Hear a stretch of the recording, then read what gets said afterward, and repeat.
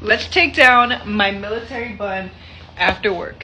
First of all, I have a headache. Ever since the army told us we can wear ponytails, a lot of people like, oh my god, it's so unprofessional. Well, let me tell you something.